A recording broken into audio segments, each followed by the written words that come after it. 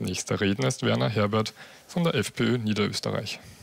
Danke, Herr Präsident. Äh, geschätzte Kolleginnen und Kollegen, jetzt ist ja leider nicht da, der Kollege Schenach. Oh ja, hier. Oh, da ist er. Ja, tut mir leid, Kollege Schenach, wenn wir, wenn wir deine vorbereitete Kontrarede da leider nicht hören konnten, weil du offensichtlich überrascht warst, dass hier auch die Freiheitliche Fraktion diesem Datenschutzbericht 2015 zustimmen wird. Wir tun das sehr gerne und ich darf mich an dieser Stelle auch für die Übermittlung dieses Berichts, der nicht nur sehr übersichtlich, sehr prägnant und auch in seiner Darstellung äh, auch klar zum Ausdruck bringt, wie sehr die Datenschutzbehörde auch im vergangenen Jahr hinsichtlich gestiegener Anfragen und Erledigungen, sei es jetzt äh, bei den Eingangsstücken und allgemeinen Erledigungen, aber auch bei den Tätigkeiten bei der Daten, beim Datenverarbeitungsregister gefordert war, eindrucksvoll bestätigt. Äh, das zeigt, Datenschutz ist eine Sache, die mittlerweile eine doch große Breitenwirkung, nämlich auch in der sagen wir mal, durchschnittlichen Bevölkerung erreicht hat. War Datenschutz früher ein sagen wir mal, politisches Minderheitenprogramm für einige äh, erlesene Insider, ist mittlerweile Datenschutz eine Sache, die wohl über die verschiedensten Zugänge fast nahezu jedermann berührt.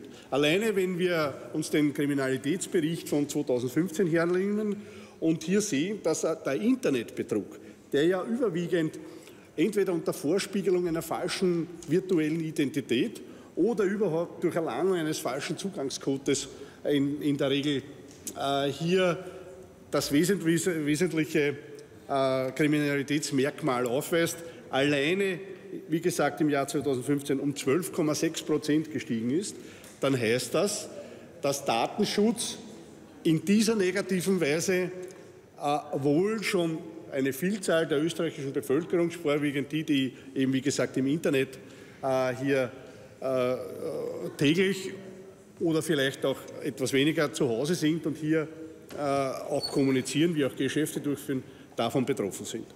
Ähm, ein weiterer Punkt ist die bereits angesprochene allgemeine politische Vernetzung des Internets und die daraus resultierenden Gesamtfolgen. Safe Harbor wurde schon angesprochen, eine Sache, die wahrscheinlich äh, äh, im kommenden Jahr mm, zu einer, zu einer neuen Regelung im Bereich mit den Übermittlungsstrategien oder auch über den Übermittlungsvorgängen der Daten in die USA äh, kommen wird. Hier wurde ja die alte Regelung durch das Urteil Schrems äh, aufgehoben im vergangenen Jahr. Und seither ist man seitens äh, der Europäischen Union regellich bemüht, hier eine Nachfolgeregelung zu finden, die aber nicht zuletzt aufgrund der Feststellung des EuGH, dass eben die amerikanischen oder die USA kein, kein sicheres Datenschutzland sind, wohl eine gewisse Herausforderung darstellen.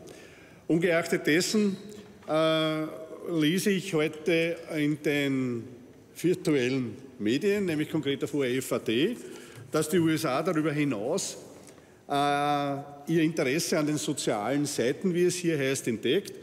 Konkret geht es darum, dass sie beabsichtigen, bei zukünftigen äh, Befragungen zur Visaerlaubnis oder zur Visateilung auch äh, etwaige virtuelle äh, äh, Identitäten auf Facebook, Twitter und dergleichen abzufragen um wohl auch hier nicht nur, das ist jetzt meine Unterstellung, zum eigenen Schutz oder der Schutz des, des Staates äh, der USA, sondern auch um ihr allgemeines und mittlerweile wohl auch sehr bekanntes äh, Wissbegieren, äh, die NSE hat es uns ja schon vorgezeigt, hier allgemein abzustimmen.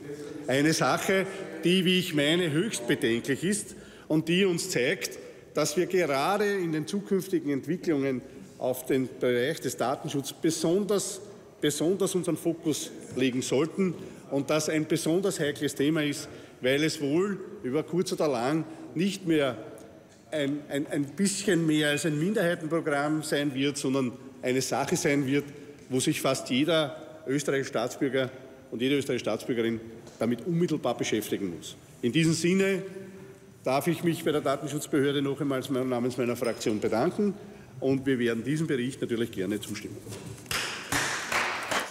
Lobende Worte für den Datenschutzbericht 2015 findet Werner Herbert von der FPÖ Niederösterreich. Dieser sei sehr übersichtlich und prägnant. Datenschutz, Datenschutz berühre mittlerweile jedermann.